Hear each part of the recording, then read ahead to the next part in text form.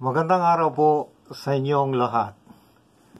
Babasahin ko sa inyo ang mga talata ng Biblia na nagpapatunay na si Virgin Mary ay hindi nananatiling birhen na perpetual sapagkat siya birhen lamang bago ipinanganak si Jesus.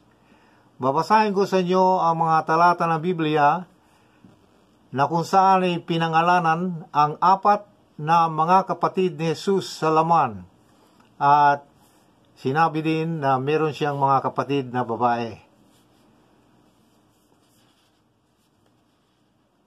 At babasahin ko rin ang talata ng Biblia na nagsasabi na si Jesus ay panganay na anak ni Maria.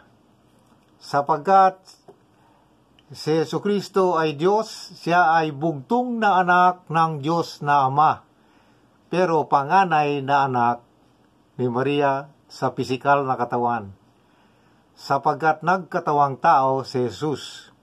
Yung nagkatawang tao, yun ang pinanganak ni Maria. So, sa katawang tao, sa pisikal na katawan, meron siyang apat na, na mga kapatid na lalaki kay Maria sa kanyang nanay na si Maria. Pero si Yeso Kristo ay bugtong na anak ng Diyos na Ama. Sapagkat bilang Diyos, siya ay bugtong na anak ng Ama at bilang tao sa pisikal, siya ay panganay na anak ni Maria. Na siya rin ay panganay na anak ni Maria, may mga kapatid siya na apat na lalaki at ating babasahin na siya ang panganay na anak ni Maria. Kaya hindi na nanatiling berhin si Maria. Si Maria ay berhin lamang bago maipanganak si Jesus. Pero nung naipanganak na, ay hindi na nanatiling berhin sapagkat nagkaroon na sila ng physical ng, na kaugnayan ni Josep. Kaya nagkaroon ng mga kapatid si Jesus. Babasahin ko ang mga talatang yan. Mateo 13, 53 hanggang 58 mula sa Magandang Balita Biblia na may Deuterocanon. Si Jesus ay hindi tinanggap sa Nazaret. Umalis si Jesus mula roon matapos niyang isalaysay ang mga talinghagang ito. Umuwi siya sa kanyang bayan at nagturo sa kanilang sinagoga. Nagtaka ang mga nakarinig sa kanya, kaya't kanilang itinanong, Saan kumuha ng ganyang karunungan ang taong yan? Paano siya nakakagawa ng mga himala? Hindi ba siya ang anak, hindi ba siya ay anak ng isang karpintero? Hindi ba si Maria ang kanyang ina? At sina Santiago, Jose, Simon at Judas ang kanyang mga kapatid? At taga rin ang kanyang mga kapatid na babae? Di ba? Saan kaya niya natutuhan ang lahat ng iyan?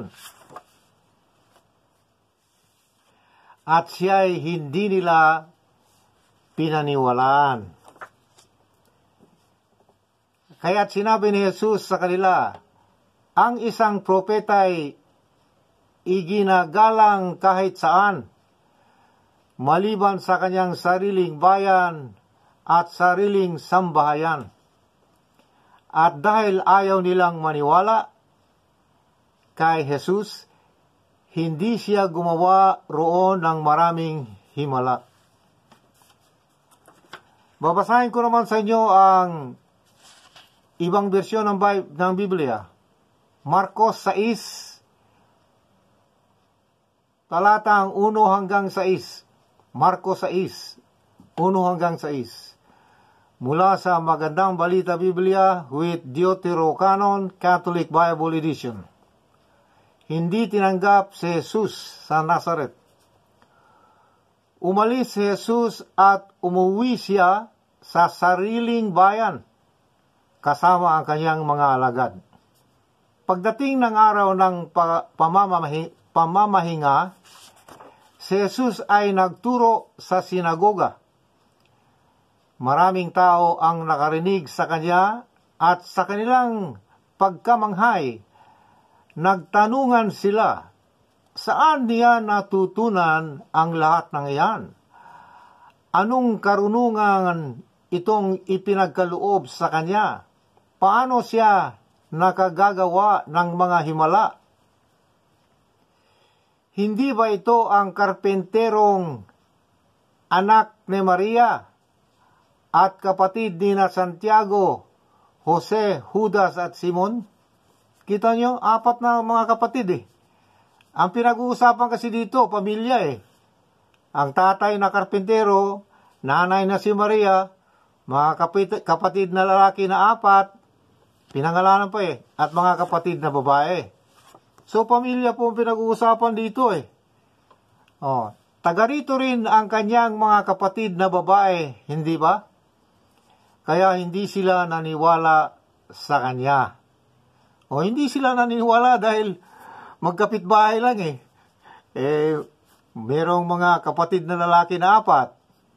May mga kapatid na baba, ah, maka, mga kapatid na lalaki na apat. May mga kapapa, ah, kapatid na babae na marami. Oh. Eh, kapitbahay lang eh, kaya hindi sila naniwala. Dahil dito, sinabi ni Jesus sa kanila, ang isang propeta ay iginagalang ng lahat, maliban ang kanyang mga kababayan, mga kamag-anak, at ng kanyang pamilya. O sinasabi dito ni Jesus na pamilya niya hindi gumagalang sa kanya eh. Hindi gumagalang sa hindi hindi kasi nila naniniwala sa kanya eh. Oh, maliban na lang kay Maria, yung ma- mama niya. Oh. So si Jesus mismo may sabi na na hindi naniniwala yung mga kapatid niya eh. Ngayon, kung sabihin natin yung mga kapatid na lalaki na apat ay kapatid sa espiritual, eh maaari ba yon? Eh kung kapatid sa espiritual, di dapat naniwala. Dapat ginagalang siya. Oh. Hindi siya nakagawa ng himala roon, maliban sa ilang may sakit na pinatungan niya ng kanyang kamay sa at pinagaling. Namangha siya, namangha siya, dahil ayaw nilang maniwala sa kanya. See? Ang uh, sabi ni Yeso Kristo, ang, ang hindi naniniwala sa kanya, taga sarili, sariling bayan, sariling kapamilya. O, kita nyo? Eh, kapatid ba sa spiritual yan? Eh, a- apat lang din ba ang kapatid na lalaki sa spiritual? Ang dami. Eh, sa disipulo lang dati, eh, 12 na sila eh. Eh, bakit hindi pinangalanan?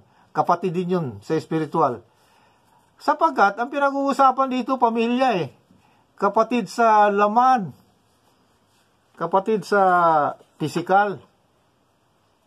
Kasi si Maria ay nanay ni Jesus. Hi, hindi ang uh, ang uh, Diyos na Ama, bugtong na anak si Jesus.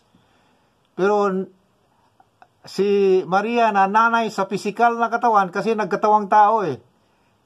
Oh, nanay sa pisikal na katawan. Walang kinalaman sa pagka-Diyos na sasabihin natin na Mother of God na siya, ibig, kung Mother of God, ibig sabihin natin na eh, mas uh, nauna pa siya sa Diyos. Eh, hindi po totoo yan na kung Mother of God, eh, nauna pa si Maria sa Diyos. Kaya, nanay, mother sa pisikal na katawan kasi nagkatawang tao eh. Kaya nga panganay na anak si Jesus eh. Oh. Ang uh, katibayan na panganay si Jesus, pinangalanan yung apat na kapatid na lalaki eh. May pangalan talaga. Okay? Mateo 1, 24, 25. Ang salita ng Diyos, Biblia. Sa pagbangon ni Jose mula sa pagkakatulog, ginawa niya ang ayon sa ipinag-utos sa kanya ng anghel ng Panginoon. Tinanggap niya si Maria upang maging asawa. Hindi niya sinipingan. O kita nyo, sexual na salita ito eh. Hindi niya sinipingan ang kanyang asawa hanggang, o may hangganan pala eh, hanggang sa maipanganak niya ang kanyang panganay na anak. Kita nyo, panganay na anak eh. Na lalaki na si Jesus. Ulitin ko po sa basa. Mateo 1:24, 25, ang salita ng Diyos, Version Bible. Sa pagbangon ni, Jose mula sa pagkakatulog, ginawa niya ang ayon sa ipinag-utos sa kanya ng anghel ng Panginoon. Tinanggap niya si Maria upang maging asawa. See, my husband and wife relationship eh. Hindi niya sinipingan. Hindi niya sinipingan. Yung word na sinipingan, sexual contact yan eh, love making yan eh. Hindi niya sinipingan ang kanyang asawa hanggang sa maipanganak niya ang kanyang panganay na anak na lalaki na si Jesus. O, pag sinabi kong hanggang alas 5 lang ako dito, eh pagka alas 5, eh umalis na ako. Pag sinabi kong hindi ako pumasok sa bahay hanggang maitali yung aso, ibig sabihin, yung uh, naitali na ang aso, pumasok na ako, may hangganan eh. Napakaliwanag dito, hindi niya sinipingan ang kanyang asawa na si Maria hanggang may panganak niya ang kanyang panganay na anak. So, dubli-dubli dito ang ebidensya eh.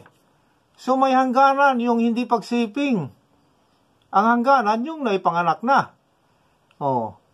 Kung hindi ako, hindi ako papasok sa bahay na yan hanggang may, maitali yung aso, ibig sabihin, yung naitali na ang aso, pumasok na ako, may hangganan eh.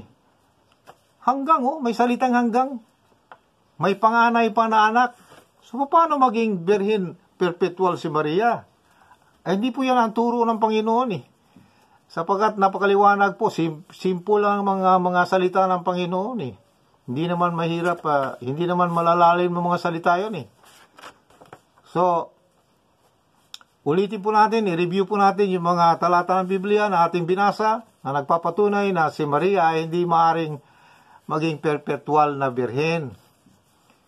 Sapagkat siya ay nanay, nanay ni Jesus sa katawan lamang, hindi nanay ng Diyos. Sapagkat ang Diyos ay walang nanay. Kung may nanay ang Diyos, di ibig sabihin, hindi, hindi ang Diyos ang simula. Hindi siya ang Alpha and Omega kasi may nauna pa sa Kanya. Kaya, kaya hindi hindi maganda pakinggan ng nanay ng Diyos. Walang nanay ng Diyos sa Biblia. Nanay ni Jesus sa laman. Sapagat ang ang the only begotten Son of God, the only, isa-isa lang. Wala nang iba. Pero si Maria, panganay na anak si Jesus sa laman. Oh. Kaya yung uh, sa pagka-Diyos ni Jesus, the only begotten Son ng Ama. Yun parte ng Diyos. Parte sa katawan ito si Maria eh. Kaya kung uh, kaya sa parte sa katawan, sa physical. Kasi nagkatawang tao ang Diyos eh. Oh. Ngayon, nagkatawang tao, so parte sa physical na katawan, si Maria ang nanay ni Jesus. Kaya ang tawag, Mother of Jesus. Pero kung sasabihin Mother of God, eh, ibang istorya na yan eh. Hindi natanggap ng, uh, ng Diyos yan. Mother of God. Eh, ibig sabihin, kasi yung sa Bible, ang Diyos ang una eh. Una at ang huli, Alpha at ang Omega, ang Diyos. Eh ngayon, kung may, may nanay ang Diyos, ibig sabihin, may nauna pa sa Kanya. Oh, kaya hindi dapat tawaging Mother of God eh. Mother of Jesus. Kasi yung Mother of God, sumubra na yun eh. Uh, giving honor to to someone na hindi naman talaga tama eh. Oh. Mother of Jesus. Kasi maraming ma ma kuan dyan eh, may stumble. Maraming may stumble. Pag marinig nila, Mother of Jesus, uh, Mother of God, may stumble sila. Ang gagawin nila, di luluhod na sila kay Maria. Oh, gagawin ng parang Diyos. Tatawagin na Diyos na ina. Wala naman Diyos na ina eh. Pero ang daming tao nang sasabi Diyos na ina. Wala sa Bible yan. Sapagat ang sabi ng Diyos, ako lamang ang Diyos. I am He. Kita nyo, lalaki ang Diyos eh. Oh, sabi ng Diyos na Ama, I am the only one God. I am He. Ako ay lalaki. Sabi ng Diyos. Oh, I am the Alpha and the Omega. Oh, the Lord God Almighty who is coming. Kita mo, O Lord God Almighty who is coming, si Jesus yan eh. Pangalawang pagbabalik ni Jesus. I am the only one God. I am He. I am the Alpha and the Omega. Eh kung may Diyos ang kung may nanay ang Diyos, eh, hindi siya hindi pala siya ang simula. Makita niyo? Kaya dapat hindi natin tawagin uh, Diyos na ina si Maria eh sapagkat eh, kung tatawagin nating Diyos, Diyos na ina, ina ng Diyos, ibig sabihin may nauna pa sa sa Ama. Sabi na nga ng Ama, I am the only one God. Ako ang Alpha at ang Omega, wala nang iba. Ako ang una at ang huli, wala nang iba. Eh ngayon, kung sasabihin natin na eh, Mother of God, siyempre, damay ang Ama dyan eh. No. Eh, yung uh, mga ma-Istanbul na tao, eh, sabi ng uh, Biblia, kung kung dahil sa iyo na Istanbul yung mga tao, eh, dapat talian ng bato yung liig mo at uh, itapon ka sa tubig hanggang mamatay, di ba? Napakalaking uh, napakalaking responsibilidad 'yan eh. Yung uh, sasabihin natin accountability, napakalaking accountability. Yung tatawagin natin na Diyos na ina. Oh, Walang Diyos na ina sa Bible. Diyos ni Yeso Kristo sa laman sa, dahil siya nagkatawang tao. Pero kung tawagin niya si Maria ay Diyos na ina, naku, maraming may Istanbul dyan. Maraming, uh, kung sasabihin ng Bible, sinasabi ng Bible, pag ikaw ang dahilan na isang taong, isang tao ay ma-Istanbul o siya ay uh, mag, uh, mapuntang impyerno, dapat talian yung liig mo ng bato at ihulog ka sa tubig. Kita nyo? So, uh, walang Diyos na ina.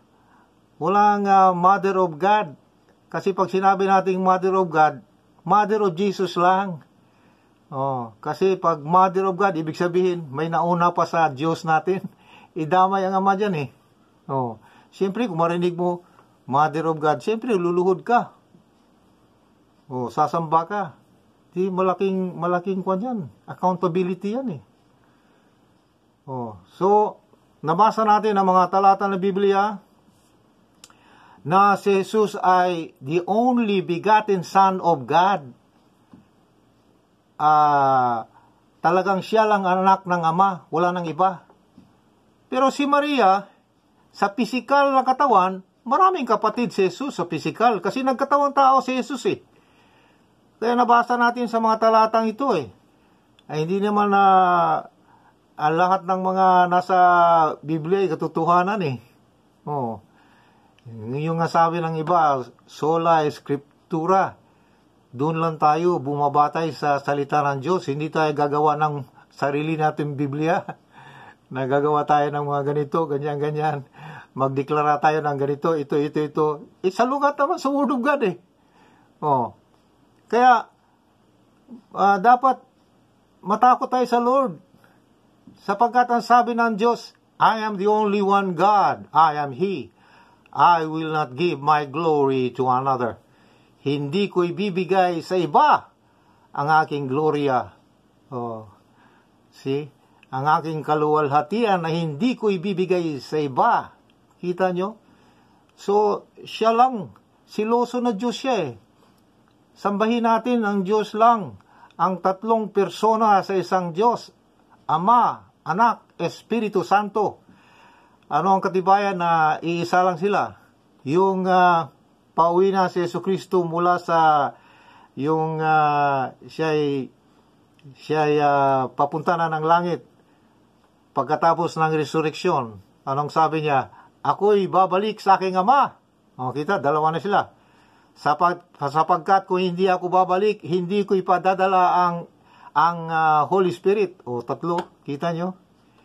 Oh. So, three persons in one God. Hindi hindi ang Ama, hindi si Jesus ang Ama, hindi si Jesus ang Holy Spirit. Sapagkat sina, sinasabi ng Biblia na si Jesus ay nakaupo sa kanan ng Ama. Eh kung si Jesus ang Ama, eh sasabihin natin si Jesus ay nakaupo sa, sa kanang bahagi ni Jesus. Eh napaka, napaka, hindi naman magandang pakinggan eh. So, uh, dito rin sa Mateo 16.27, na sinasabi dito ng anak ay darating in the glory of his father. So, separado sila eh.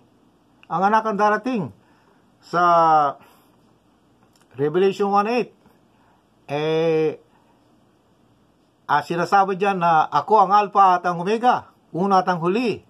Ang Diyos na makapangyarihan sa lahat, siyang darating. Si Jesus yan eh. Si Yesu Kristo yan, darating. Second coming yan eh. O ano pa? Revelation 4.8 Holy, holy, holy, Lord God Almighty, who is coming. Kita mo, makapangyarihang Diyos na darating. Si Yesu Kristo yan. Ang Ama hindi darating eh. Pinadala niya si Jesus ha, para magbigay ah, judgment sa sangkatauhan. Oh. Eh kung ama ang ah, si Jesus ang ama at ipadala ni ama ng ama ang kanyang ang kanyang ama ang on, napaka ay hindi magandang ah, pakinggan eh parang illogical illogical kaya ang ah, ang ah, tandaan po natin na si Jesus ay darating in the glory of His Father. Ang darating, siya ang second coming, siya ang magbigay hukom. Siya ay magbigay judgment sa sangkatauhan. Kaya, nabasa po natin ang mga talata ng Biblia at hindi po natin na dudugtungan o ibahin ang tono sapagkat kas- malaking kasalanan po yan. Kasi ayaw ng Diyos na ah, sinasabi doon na magdagdag o magbawas ng salita ng Diyos ay hindi mapuntang langit. Kaya warning sa ating lahat, dahil mahal tayo ng Diyos, hindi tayo magdagdag. Hindi tayo magtanggal ng mga salita, hindi tayo mag-imbento o gagawa ng sariling Biblia o sariling bersikulo. Kaya para matuwa ang Lord sa atin, si Virgin Mary ay hindi hindi ma, hin, eh minsan pa tinatawag na God the Mother eh. Biro mong God the Mother, di apat na ang persona. God the Mother, sabi ng sabi ng Ama, "Ah, I am the only one God. I am He. Ako ay lalaki. Ako lamang ang Diyos. Ako ay lalaki. Ako, I am He. Kita nyo, lalaki. Kaya walang Diyos na babae. So, Ah, hanggang dito na lamang. Maraming salamat. Ah, sana'y ah, ah, natutunan natin ang mga salita ng Diyos sapagat ay mahal ng Diyos. Ah, doon lang tayo